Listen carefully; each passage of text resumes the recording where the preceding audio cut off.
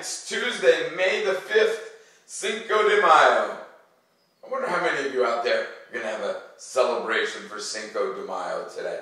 So it's kind of a, seems to be uh, something that a lot of people uh, enjoy doing. I don't know how exciting it's going to be this year, since we can't kind of go out into the public and be around one another too much. So unfortunately, we'd probably be toned down a little bit, but happy Cinco de Mayo to everybody that's celebrating today. Yesterday, May the 4th for Star Wars. Today, Cinco de Mayo. In a couple days, on the 7th, my son Jake is having uh, his 10th birthday. He's pretty excited about that. A lot going on this week. Pretty exciting. You know, um, I noticed that the books that I chose for this week uh, have kind of a sports theme. Not all of them, but I noticed I picked three sports-related books. And uh, today I have another one of those sports-related books for us. It's a biography, uh, Day by Day with LeBron James by Ta Tammy Gagne. And I had a couple of requests for a LeBron James book. So when I had the opportunity to go back into the building, I did grab a LeBron James book that I thought everybody might enjoy. It's got some uh, really great photographs in it because it is a non-fiction book. So of course it has some features that our fiction books don't normally have. It's got real pictures in it, which is kind of par for the course for a non-fiction book. In the back, I'll show you as when we're reading the book, you'll get to see this further reading. So if you'd like to look up any of those additional books to read about LeBron James, you can go ahead and do that. And it also has an index in it that we see in nonfiction books. And indexes tell us where specific things within this book are. So I thought, yeah, you know, at first when I heard somebody wanted to read a nonfiction, I was like, yeah, I guess we could do that. I don't see why not. I can find a nonfiction book that is uh, still easy to be photographed and we can kind of show on the screen and, and go ahead and do that and, and fill that request. So if you ask for LeBron James, today's your day. Well, let's see what national day it is today.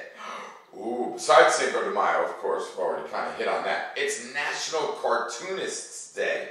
People that like to draw cartoons. We have a couple kids at school that are really good at that. We, we have had some students that are just really incredible artists. Um, and I, when I see their work, I'm like, gosh, I just can't believe it. It's so fantastic.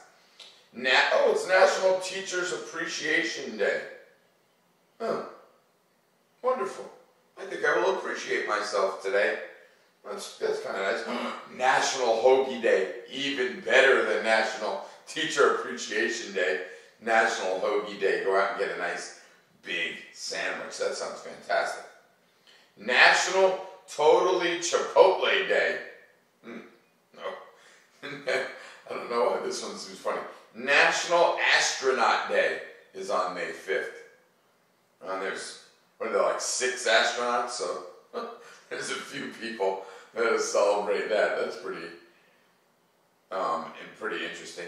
National Bike to School Day. That sounds awesome. Of course, we can't do that, but that sounds pretty cool. I didn't know that, man. I never even heard of that one before. And National Beverage Day. A beverage is something that you like to drink, like a nice big tall lemonade or an iced tea, or combine those two. Have an Arnold Palmer, half iced tea, half lemonade. That sounds pretty good. Wow, a lot of national things today on.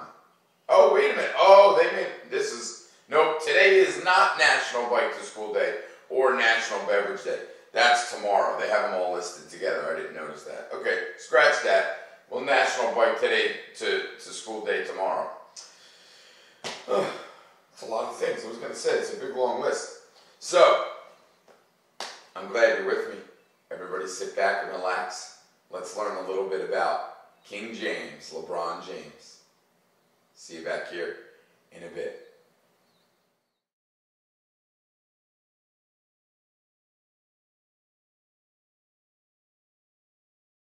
LeBron James by Tammy Gagne.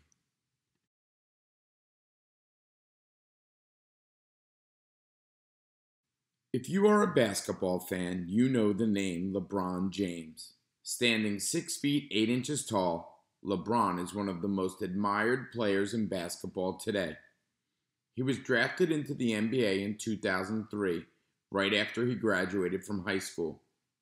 Only a handful of players in history have been given this impressive opportunity at such an early age.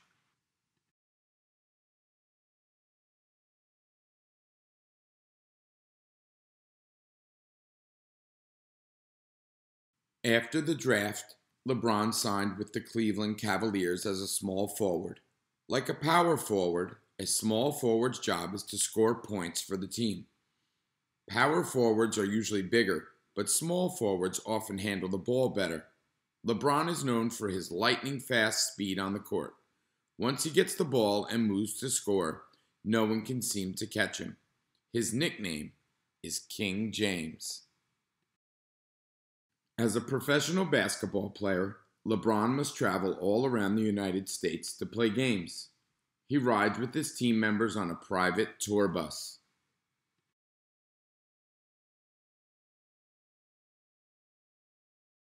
LeBron stretches with the help of one of the team's trainers. Smart athletes know that warming up before a game helps prevent injuries.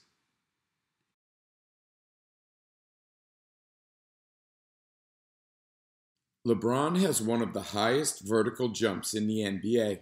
He can leap 44 inches into the air. He is also known for his long arms, which help him steal the ball and slam dunk it.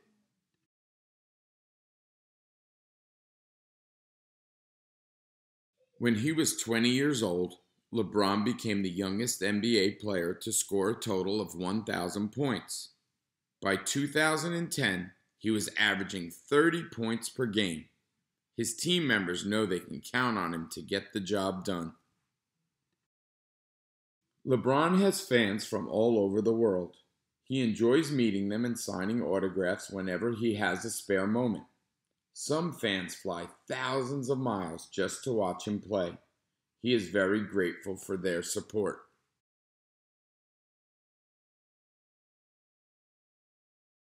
LeBron played alongside Kobe Bryant and Carmelo Anthony on Team USA in the 2008 Olympic Games in Beijing, China. Team USA went undefeated in Beijing, beating Spain in the finals to win the gold medal in men's basketball. LeBron started the James Family Foundation with the help of his mother, Gloria. Sometimes LeBron and Gloria visit elementary schools together and read to the students.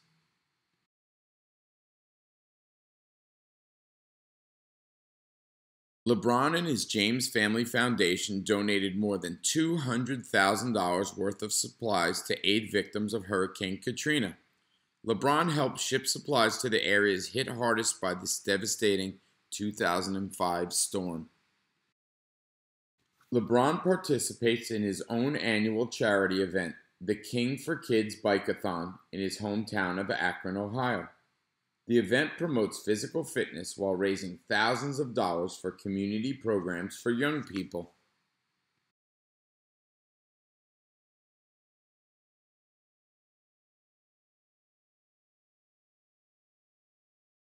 LeBron has two children. LeBron James Jr. was born in 2004. Bryce Maximus James was born in 2007. Their mother, Savannah Brinson, and LeBron have dated since high school.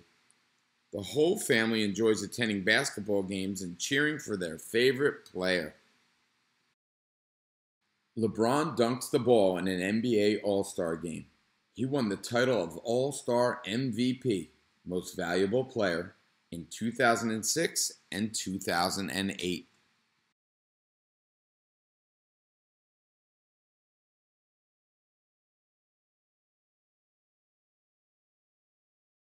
LeBron is often interviewed by reporters and sports announcers.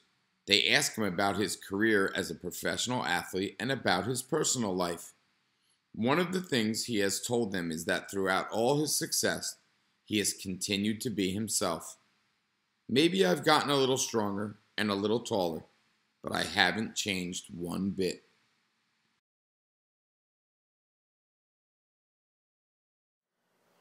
And we're back. I hope you enjoyed that. I did. I thought that was pretty interesting. I mean, it's kind of a short book. There's not a ton of information in it, but it's uh, it, it was really a nice little read. I really enjoyed it. Learned a lot about LeBron James. Now, one of the things I wanted to point out about nonfiction, since it's got real information in it, you always want to check and see when that book was written. Because right now, we're in the year 2020. So you can go to this page right here, the copyright page, and you can find out when this book was written. Now, I see here that this book was written in 2011, so it's nine years old. So some of the information in this book will not be as accurate as it could be. Like if they give us some information, I know one of the things I was thinking about, and this one is not you know, terribly important, but it's something that I was kind of paying attention to. Right here, they show a picture of LeBron James with James Jr., right? Now, this book was written in, two, what did I say? 2011. 2011. So that's nine years ago. So this picture of his son, um, he's maybe like five years old in this picture. So, of course, 11 years has passed since then. So he's much older now. And you might, if when you're reading this book, since it's nonfiction, if you don't realize when the book was written, you might just think that LeBron James has like a, a small child, but he's much older now, probably 17 or so. Also, some of the statistics that you'll find, this is a basketball book. So it says, on this page, it says LeBron dunks the ball in an NBA All-Star game. He won the title of All-Star MVP in 2006 and 2008. So that sounds like, oh, two times. But there's been a lot of basketball since 2008, and then since this book was written, nine more years. So LeBron James has had other things happen in basketball that wouldn't be included in this book. So that's why we always have to kind of update our nonfiction. But that doesn't mean that the information in this book is no longer any good. The things that happen in this book actually occurred. It's just that there's more to the story if we go nine years later. So we always want to make sure we pay attention to that when we're reading nonfiction. Well, I hope you had a great time with me today. Hope you enjoyed learning about a little bit about LeBron James and maybe just something about nonfiction in general. Tomorrow will be Wednesday. Make sure you visit, stop on by, spend some time with me, check out the book that we have for you tomorrow. Have a great day.